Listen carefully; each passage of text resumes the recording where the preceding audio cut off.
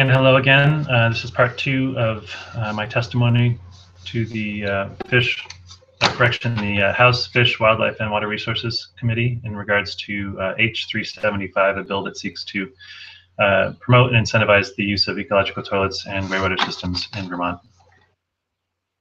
So I'll just jump right in. This second part is referred to as, or was what I'm calling, the opportunity in front of us. Or top We'll start out uh, with this uh, this overview um, with first with some definitions. Um, there's a couple of them. I've used the uh, term sustainable sanitation uh, early in the presentation, but I never defined it. So let's go ahead and do that now.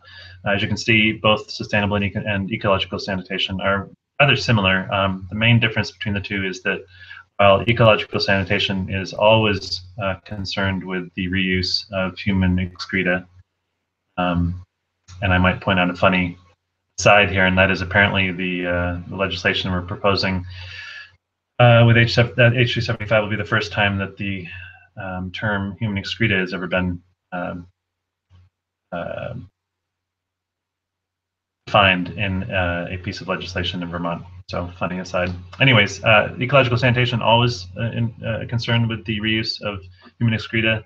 Sustainable sanitation not always uh, concerned with that. More concerned uh, with the sustainability. obviously, if reuse, if a, if a, reuse scheme used in conjunction, then it's even more sustainable. Um, but there are occasions where, for various reasons, reuse is not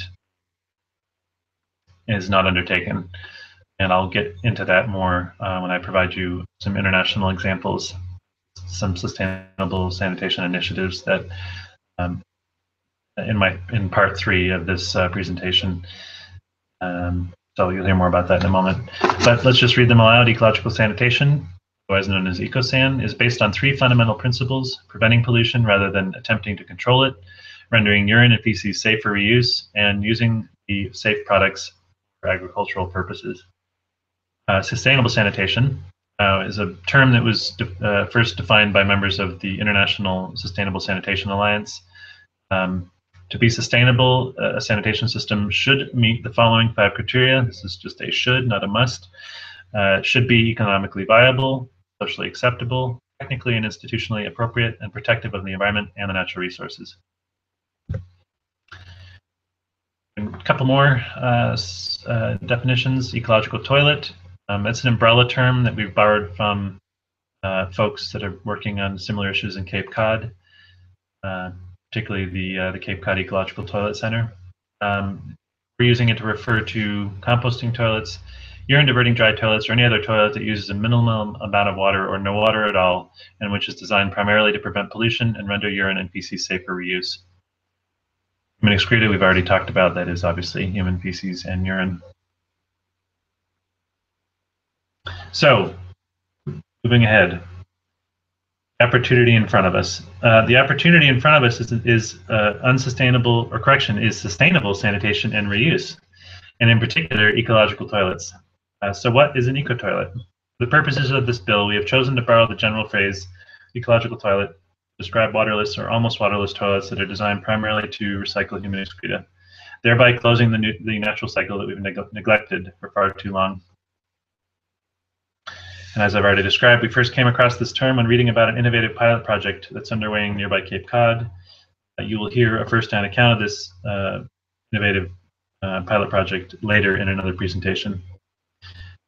Ecological toilets differ from the toilets that most of us are likely most familiar with, commonly known as flush toilets. Uh, which rely on water and are designed around the concept of human feces and urine being waste materials that need to be disposed of. And while not always utilized in conjunction with a reuse scheme, ecological toilets do, by design, permit and facilitate in a very safe and efficient manner the reuse of human excreta. Back to this in a moment. The specific ecological toilets that this bill seeks to promote are the following composting toilets and urine diverting dehydration toilets. Uh, the bill also includes currently um, um, two other types of toilets. Uh, we would advocate that probably concept of a lined pit latrine, even though it's an improvement uh, over a septic system, um, in that the only thing that's going in there are uh, feces, urine, and cover materials, toilet paper. Um, that uh, we wonder whether this bill should ultimately include those. Makes sense in some cases, others it may not, but moving forward, we'll um, like to have you know be part of that discussion.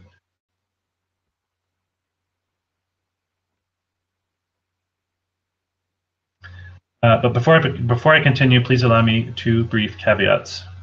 First, please keep in mind that the end goal of a composting toilet is compost, aka humus. The end goal goals, and that's plural, of a urine diverting dehydration toilet are liquid urine and desiccated, aka dried feces.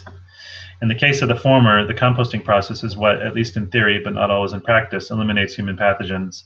And in the case of the latter, time is what sterilizes urine, although urine is usually sterile anyways, while the prolonged and profound absence of moisture is what, at least in theory, but not always in practice, eliminates human pathogens.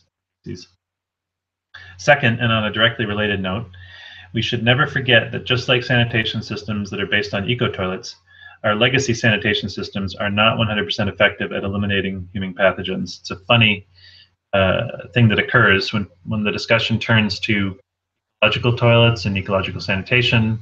The major topic, major focus becomes systems uh, eliminate pathogens. Meanwhile, when someone talks about a wastewater treatment system, involving a wastewater treatment plant or septic systems, there's rarely ever any discussion uh, about just assume that they do, that they're always 100% effective, when in reality, uh, that's not the case. Um, both systems um, have uh, their drawbacks, and and both systems uh, exist in reality. And, and the reality is that probably there's no system out there, short of something that maybe exists on the space shuttle, uh, that that can be 100% effective 100% of the time. So it's not really the. I don't really feel like it's a point uh, to ponder as long as certain internationally recognized uh, procedures are, ta- are, are utilized uh, to minimize the threat to individuals and to uh, society. Uh, we're, we're fine, I guess is the point I'm trying to make. So to continue, um, in each instance, we rely on separate and distinct what we can call multiple barrier approaches to minimize the risk to the public. Uh, I won't go into them here, but suffice it to say that as long as certain uh, universally accepted precautions are taken, both systems are equally effective at providing protection, preventing human exposure to harmful pathogens. So repeating what I just said. Composting toilets. I want to point out right off the uh, top here that the term composting toilet is in some ways a misnomer it can be a misnomer, given that the finished composting process may or may not occur in the toilet itself, but may, depending on design and frequency of use and uh, the requirements of end use, uh, require a separate treatment step, which is uh, generally longer term and or higher temperature composting in an outdoor compost pile. However, this hasn't stopped the term composting toilet from enjoying widespread use, and so it's the term that we'll make, a, make use of as well. So generally speaking, what is a composting toilet? Well, a composting toilet is a type of dry or almost dry toilet that uses a predominantly aerobic cross-site treatment of human excreta by composting or managed aerobic decomposition. Uh, this uh, article I've uh, modified slightly, uh, but the original uh, comes from associated Wikipedia article. Um, I normally don't cite Wikipedia articles, but in this case, um, I know the information to be valid and trusted because I happen to know personally the identities of the authors involved and can vouch for their um, expert international credentials. They're, they're uh, all experts in the field of sustainable sanitation internationally. Here you can see uh, three images of wheelbarrows showing you the uh, the end product of a composting toilet. Um, be hard pressed to, to identify any difference between it and the and uh, the finished product of a, of a backyard composting pile that people use for vegetable waste and, and um, yard waste. Um, incredibly nutrient rich, uh, safe to handle uh, material with many uses. All right, uh, some common or features common to all composting toilets are a toilet seat. See, obviously, all these all these toilets have a toilet seat. Um, least in Western style designs, I should I should point out. Cha uh, a chamber or removable container where excreta is deposited and a structure of some kind that conceals the chamber or container from view. You can see all these toilets pretty much meet that uh, that uh, definition. And uh, the exception here, um, the second image from the bottom from the left in the bottom row uh, shows a gentleman standing in front of a large uh, structure. That's actually the business end of what we're going to get to in a minute, which I'm referring to as, a, as remote composting toilets. Um, the toilet that uh, would look more like the toilets that you see in the upper row. That would be uh, located on a floor above where this gentleman is. Uh, this would just be the working end of the toilet. Much larger, um, larger capacity, uh, more robust systems. All right. Uh, other features may include uh, a passive using utilizing a chimney effect, or an active utilizing an electrically powered fan ventilation system electric element to heat the contents of the chamber or the container uh, and to assist with evaporating liquids. Addition chamber of red wriggler worms, vermicomposting, uh, which uh, images on the slide, the bottom far right image is of a referred to as a moldering toilet that's in use uh, on the trail networks, both in Vermont, New Hampshire, and, and around the country and apparently around the world. Um, brought to you by the Green Mountain Club. I'll talk about them in a moment. Uh, and some allowance for stirring or turning the contents of the chamber or container to promote aeration. Looking back in time, this kind of toilet and or the sanitation uh, principles it relies upon, forward to this image. Basically the concept of composting. Um, uh, in use for hundreds, if not thousands of years. Uh, there's ample evidence, actually, that early Amazonian peoples blossomed in the harsh rainforest environment by mixing their excrement with ash and other organic materials to create what's referred to in Portuguese as terra preta, black earth, otherwise known as incredibly rich and fertile soil. Um, although it runs somewhat contrary to the perception of rainforests as lands of plenty, they are actually, in, uh, in actuality, a very difficult place to live uh, if you're a non-nomadic human.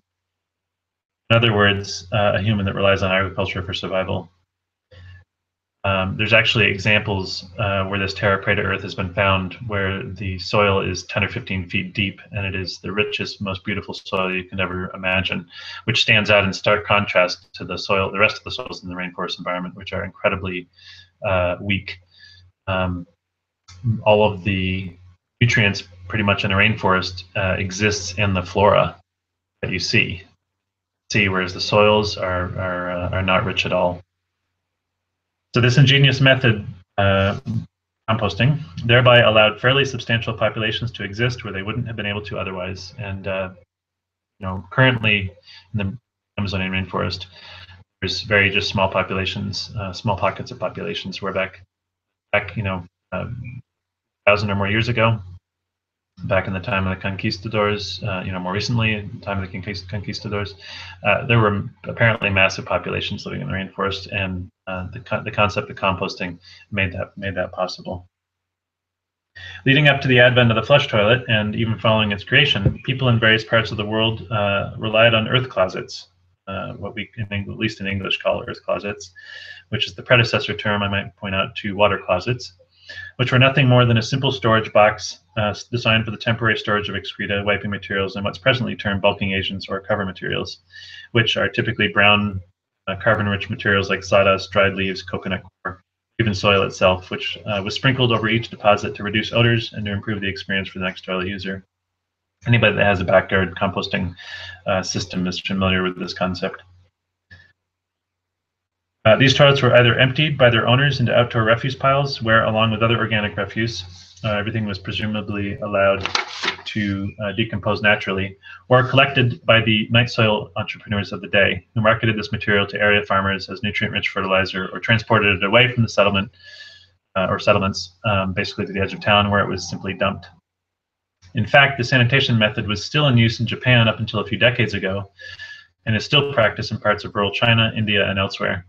Plus, there's an entire development model that's been operating in the majority world, uh, what most pejoratively call the developing world, For the last few decades, it has made tremendous inroads into reviving this technology for use by the world's economically, politically, and geographically disenfranchised. Obviously, with the caveat that it's focused on the uh, on the composting process as opposed to just the night soil concept, um, which was uh, uncom uncomposted or uh, untreated materials.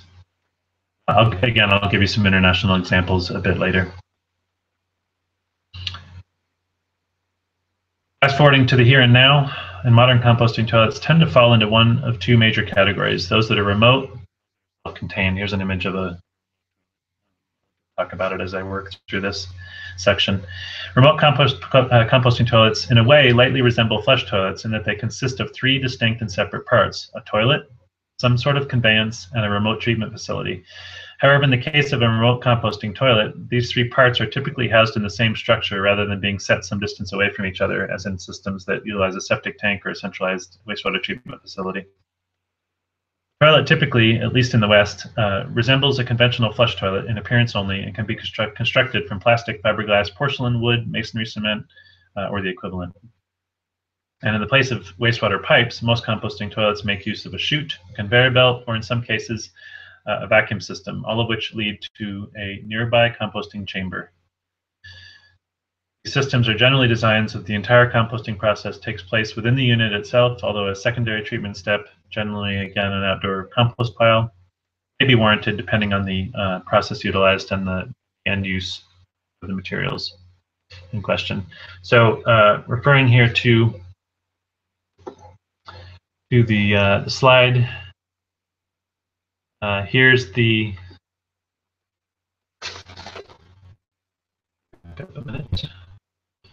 Uh, this is the this uh, gray line you see that runs across the upper third of the slide. That's uh, representing the floor. This structure here is a crude image of a pedestal toilet. That would be the toilet itself. This is the conveyance. In this case is just a chute leading into a human center, which in this case is a composting uh, container.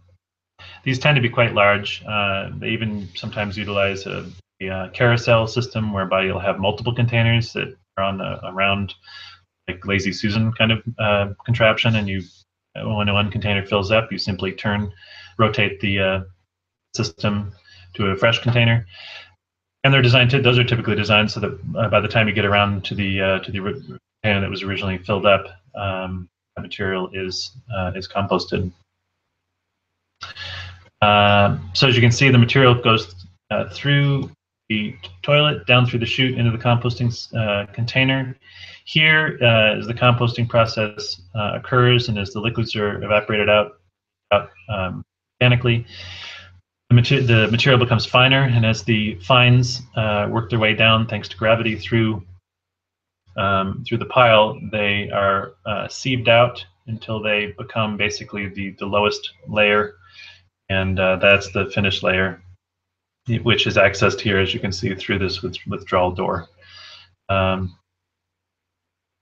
lots of aeration systems. Uh, you're trying to prevent anaerobic conditions, you want aerobic conditions, you want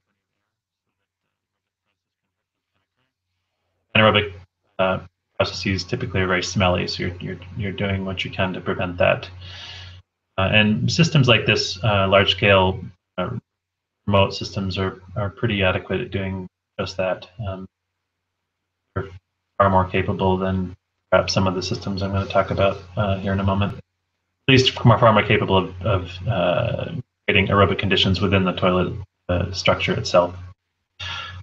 Here you can see uh, any liquids that are not evaporated out of the system um, are drained away. Um, that can be, uh, that drainage system can lead to a simple French drain uh, system, uh, which we typically in, in, this industry call a, a, a soakway or a drainway. Um, that's subgrade in most cases is, is not a problem or doesn't produce a, a problem. Uh, or it can be, uh, it can lead to a container which uh, the, the contents of can be um, disposed of conventionally in a dump or um, provided to a septic hauler uh, or um, taken directly to uh, a participating wastewater treatment facility. You'll also see here uh, the ventilation system. In this case, it's a mechanical system, uh, utilizes a fan. Beauty of uh, all ecological, well, not all ecological toilets, but certainly those that are system, um, is that uh, because they have uh, ventilation, the ventilation which of which is is designed to pull air from the bathroom environment down through the toilet toilet uh, through the composting chamber and then up and out of the house, either out of a wall or up right through the roof of the house. Um, that creates a uh, basically a partial vacuum within the composting chamber toilet itself, um, and uh, equates to the uh, odor that people experience that, that utilize these toilets. Um, you know, a conventional flush toilet isn't venting constantly. Uh, so you'll get smells associated with using a, a conventional flush toilet, whereas these systems, uh, assuming they're operating properly, you really don't get any odor. Uh, another benefit, uh, particularly in, well, really in any house, but certainly the more uh, newer energy efficient homes that require full-time ventilation in order to to um, to uh, allow for air exchanges within the home improve indoor air quality. Um, this system is working 24 hours a day, 365 days a year, so it's it's constantly pulling air from the house and, and venting it outdoors. So a very handy feature for any home. All right, that covers uh, covers this slide. All right, self-contained toilets. Let's go back to this image. Uh, self-contained uh, toilet uh, is, is displayed um, in that bottom left-hand uh, slide Sunmar version. Um, and also the toilet that has the brown toilet seat that's two images over to the right from that. And even, uh, if you will, the, the uh, image on the far right, although that's not something you could pick up and move, it couldn't be really portable. Um, it could could be defined either way, I guess you could say. Um, good examples of uh, what we're going to talk about now, which are self-contained toilets. In contrast, self-contained uh, units combine all these three parts that I described above into one compact unit, whereas remote toilets are typically intended for installation, like permanent installation in homes and businesses, and are somewhat more complicated, particularly as a result of the need for of existing buildings, extensive retrofitting, and in both existing and new construction, basement or adequate crawl space located immediately underneath, or in the case of a vacuum system, uh, adjacent to the location of the toilet. Self-contained composting toilets can be installed almost anywhere, needing at most uh, some connection to uh, ventilation ductwork and a drain for excess liquids, which as I described is normally directed to a subgrade soakway. And in some cases, an electrical power source if the ventilation system utilizes a mechanical uh, fan, electrically powered fan. However, at their simplest, uh, like those self-contained versions which rely solely on an outdoor compost pile, and the best example uh, on this slide of a system like that is the the, uh, the toilet that has the brown toilet seat and toilet brown toilet lid. Uh, that would be more of a humanure style toilet, um, and that is uh, the contents are taken out regularly, tied to an exterior compost pile or actually a set of piles they're allowed to, uh, you know, mixed with, with other organic matter, even food scraps, etc., and allowed uh, for the composting process to occur there. This is more of a uh, short-term temporary storage where you actually go to the bathroom and then the process occurs outdoors. Uh, so in those systems, none of these more complex systems are required, and the toilet itself can be placed literally anywhere a toilet is needed or desired. Which brings me to an important point. Although it's impossible to know the numbers involved, uh, given their particularly uh, particular ease of installation, there's plenty of anecdotal evidence available that people are making use of self-contained composting toilets and are doing so uh, right under the radar of our local code enforcement uh, authorities, health departments, etc. And so one of the goals of this legislation uh, that we think should be included is to uh, create include uh, a user-friendly framework that will produce an environment conducive to allowing these users to emerge from the shadows want to support these folks and the commitment they've made toward improving the world around them, um, while also ensuring that not only will others feel comfortable following their lead, but that best practices are followed in order that these systems are operated in a safe and non-environmentally destructive manner. And if I may uh, editorialize uh, from a, a, bit longer, something we hope is covered in the final version of the, of the bill as well is some sort of protection for consumers in relation to certain designs of self-contained composting toilets Uh, any quick web search will produce ample negative consumer reviews of uh, certain self-contained composting toilets, some of which can be purchased right now at nearby building supply stores. The problem, it seems, is that uh, certain designs that were never meant for full-time use, uh, but instead for seasonal or only very occasional use, like at backcountry cottages or summer camps, etc., uh, have been placed in service uh, with the with the intent of full-time use. Something that in practice causes a host of problems, not the least of which are very negative consumer attitudes towards these toilets. The cause, at least as far as we've been able to determine, uh, can be isolated to vague and unrealistic marketing claims made by manufacturers uh, and retailers, um, and the lack of real-world standards.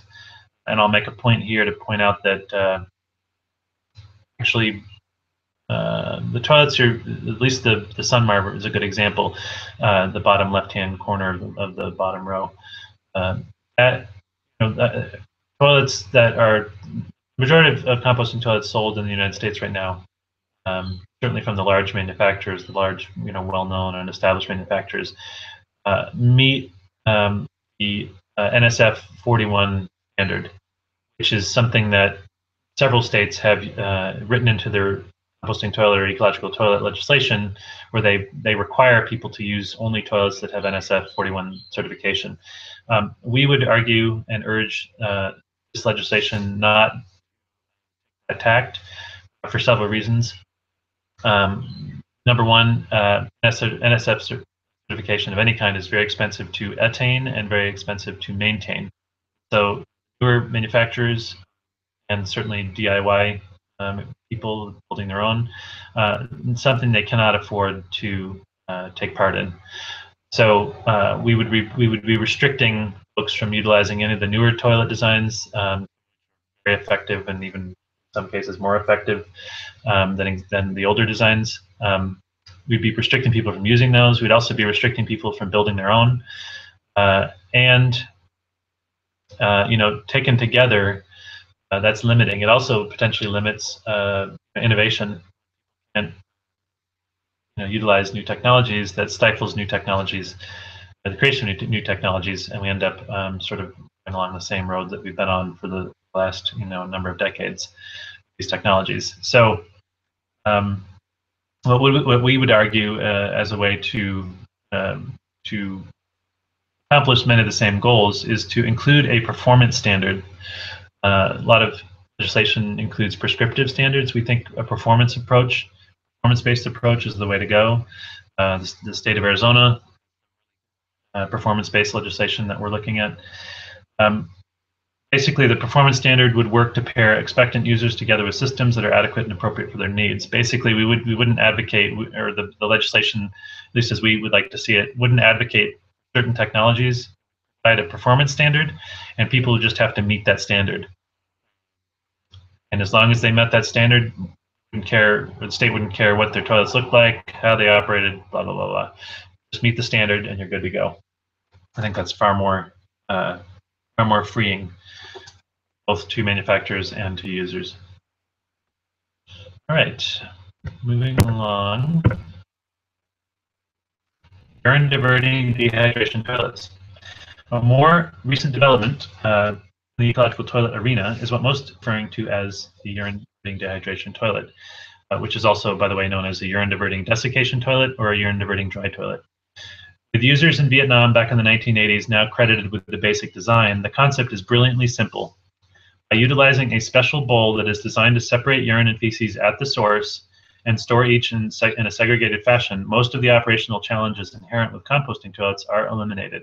Of course, one of the biggest challenges uh, is odor uh, in a composting toilet. And this gets back to uh, what I was referring to, with particularly where people are utilizing toilets not designed for full-time use uh, as their full-time toilets. If odor is ever associated with a composting toilet, and this can quickly become an issue if certain basic and universal practices are not adhered to, it is the joint result of what happens when urine and feces are allowed to mix and a factor of the amount of oxygen or lack thereof and liquids present in the combined storage container. Anyone who's ever used a porta potty or what many think of as an outhouse uh, knows what I'm referring to. Noxious smell that's produced by the combination of hydrogen sulfide mostly by hydrogen sulfide and ammonia.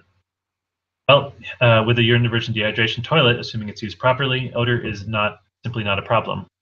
Um, and you know, before I said you can get online and, and find uh, numerous examples of people's people having issues with composting toilets. Uh, I think you'll be hard pressed. I certainly have been unable to uh, to find any any negative reviews of of urine diverting dehydration toilet, um, uh, you know, online. again, using assuming they're used properly, um, and that everyone that, that uses them understands their their uh, you know their their purpose.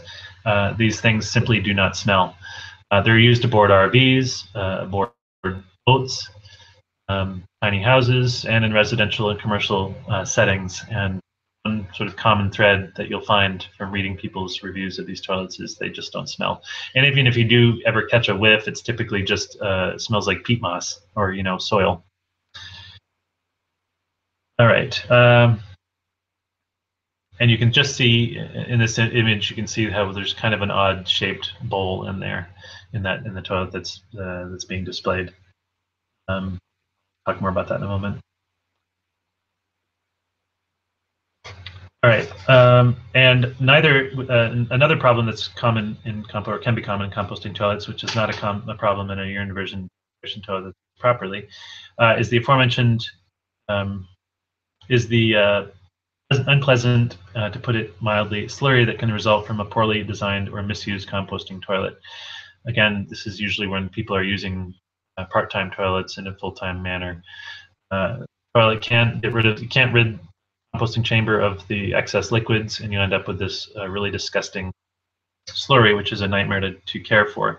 Because a composting toilet uh, or a urine diversion toilet separates those two things, you just don't have that problem. Um, although a uh, although the urine storage container of a urine diversion toilet can and does smell if a there's no integral odor trap built into the urine drain or adequate ventilation built into the system, uh, or if the container is not emptied on schedule. Um, however, the feces chamber, as I've already discussed, uh, only imparts the smell of damp soil, smell anything. Even this is difficult to experience given the partial vacuum that exists in the feces chamber which ensures that any smells are exhausted to the out of doors. So again, as long as you stay up on the on the removal of the urine, uh, or and or the system is designed with a with a with an odor trap, uh, these toilets are are odor free.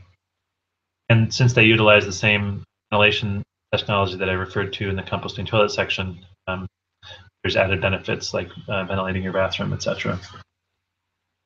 Some features common to all urine diverting toilets are a toilet seat, at least in Western style designs, a partition bowl uh, or some allowance for the separation of urine from feces, a removable container uh, for the storage of urine, uh, or a drain that leads to a soakaway, as I discussed before, chamber or removable container for the storage of feces, a passive or active ventilation system connecting the feces chamber to the outside world, which, as I've already described, is designed to create a partial vacuum in order to prevent odors in the bathroom, but also in the case of a urine diverting dehydration toilet to uh, contribute constant airflow to assist in drying or dehydrating the feces. Which uh, I should point out, by the way, uh, feces is 80% water. So when you remove the water, uh, which um, urine diversion dehydration toilets are very effective, effective at doing, you end up with uh, only 20% of what you started with. So uh, like this that you see in this image can be used for um, months before it needs to, needs to be uh, emptied. Uh, and lastly, of course, a structure of some kind that conceals the internals of the toilet from view.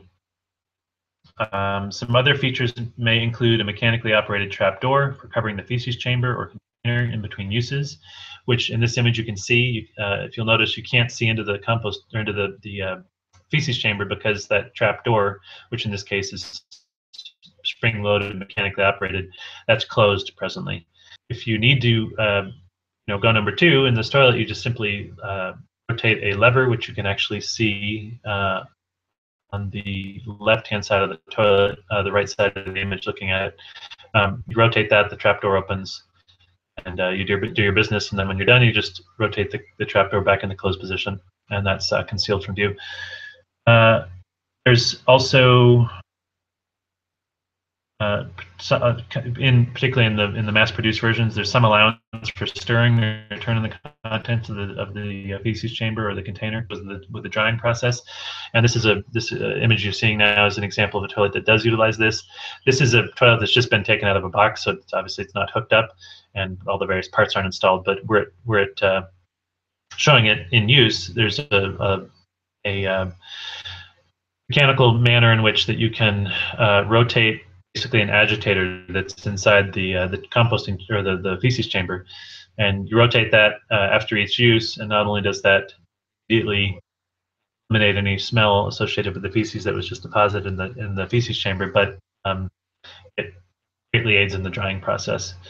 And these typical toilets, are, just like composting toilets, are typically used with uh, with some sort of cover material. Um, you know, peat moss is the is the suggested uh, cover crop or cover material for for this particular make and model of toilet but you know you can use dried leaves you can use sawdust you can use uh, pretty much any brown you know dead uh, plant matter uh, and even soil. Some people just use regular old soil. Basically what you're what you're going for in the end product also works great. Um, so here looking directly at the image you can see here's the trapdoor that covers the feces container. You can just make out in the front of the bowl here that there's a, a separate segregated area. That's where urine goes. Sorry, guys, anybody that's a, an, up, uh, an upright peer, um, typically change your ways and, and like half the population and seat when you urinate or sit when you urinate. Um, that's what you want to do because you want to prevent urine from going in the feces chamber because again you're trying to dry this material out and you're trying to and you also don't want the the uh, the chemicals that are in urine getting in here because that again is what causes the uh, the odor problems in composting or can cause problems in composting toilets. Um, here you can see the urine, the, urine, the removable urine container, um, and the lever for opening and closing that trapdoor. This little uh, outlet here is um, there's another identical one on the other side of the toilet. Uh, that's where you connect your ventilation system. There's a, a fan. Typically, fans for these systems um, are not uh, nowadays, but not necessarily moving moving forward, are powered by solar, small solar panels, or if the house is uh, equipped with a solar system, a solar solar voltaic system, uh, just tied into that system, so they can be DC powered, or or they can be uh, powered uh, off of mains voltage um, and AC power. See uh, easy to clean, smooth plastic surfaces and surfaces on this uh, example. Um, that's something that's taken into account usually in, in most of these designs, uh, whether they're mass produced or built at home. Um, you know, you want to have a surface that's easy to clean. And again, some of the examples of cover materials that are uh, used after each use.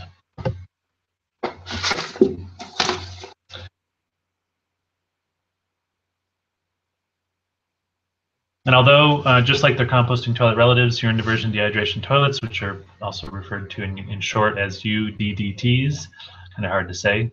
It's actually easier to say urine diversion dehydration toilet, tend to fall into one of two major categories, uh, those that are remote and those that are self-contained. Um, however, uh, there's no need for me to detail the specific differences, uh, as they should now be self-evident. It's pretty much the same concept as you saw before, composting toilet, same idea, so I don't need to go into that. Uh, keep in mind that uh, with both com both composting toilets and urine diversion toilets, although they're not latter isn't currently um, explicitly mentioned in current state law, current state law permits the byproducts of these toilets to be buried. However, uh, the only land this can be accomplished on, unfortunately, is land known to meet the requirements for a leach field. Uh, we would like to see this requirement eased in final version of H375. Um, many states uh, make no uh, mention that uh, the material be buried on a, on a piece of land that, that perks. We think that's uh, that's uh, in the real world is uh, overly restrictive, and we'd like to see that uh, eliminated entirely um, in most instances. Obviously, if there's an issue, particular property that has a very high water table, which I suppose there's examples of in the state, um, a, you probably don't want to be building there in the first place, but B, you certainly don't want to be burying um, uncomposted, you know, fresh, raw uh, feces or urine for that matter, because you're you're going to contribute to um, you know the pollution problems that we're already facing with with uh, nutrient pollution. However, again, in most cases, that's you know not not really a concern, and we'd we'd like the legislation to to address that as well. Um, so, with any luck, uh, in future hearings, um, you will hear more about specific projects underway in Vermont that I've alluded to somewhat, uh, and also in nearby neighboring Massachusetts related to these technologies. Uh, specifically, you're going to hear from the Brattleboro Earth Institute, uh, and its first of its kind in the U.S. urine recycling study. If you haven't heard about these folks already, uh, you're in for a treat. This is an amazing project that's underway. They're looking at the feasibility of using uh, urine as fertilizer in agricultural um, uh, arenas. Uh, you're going to hear from uh, the Green Mountain Club, as I alluded to earlier, uh, and their uh, multiple decades long history of utilizing site built composting toilets in the backcountry of Vermont, uh, as well as elsewhere. They pretty much wrote the book on backcountry sanitation. that they're what they've um, been able to do here has been duplicated all over the country and in other parts of the world. A really great story. You're going to hear from the Vermont Law School, hopefully, um, and their experience with their installation of remote composting toilets. You'll hear from the Cobb Hill Cohousing Group, which is down in Hartland, and their experience with the installation of remote composting toilets. And then uh, you'll also um, be lucky enough to hear a, a, a, an individual speak to the Cape Cod community of Falmouth's experience with its innovative eco toilet pilot project that I referred to earlier that is another great project to, to look to or look towards uh, moving ahead. All right, so that that ends part two of my, uh, my testimony. Um, again, I appreciate you uh, and get back to the image of me. Here. Uh, so uh, again, look forward to part three. I will post the link to that actually to the first part and the part three uh, in the notes section of the YouTube video. Uh, you can navigate to that video at your leisure. Um, uh, I think I don't think I've said so, but if you have any, if anyone has any questions at any point during any of these presentations, uh, they should feel free to contact me directly. Uh, I will also be available um, day that these presentations are shown to the.